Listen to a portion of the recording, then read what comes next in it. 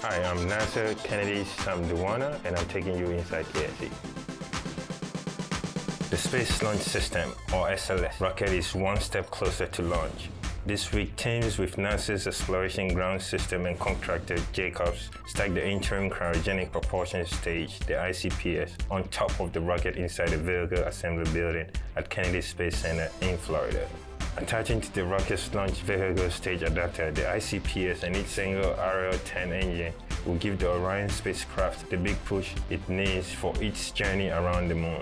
Through Artemis, NASA will send the first woman and the first person of color to the lunar surface and will establish a sustainable presence on and around the moon.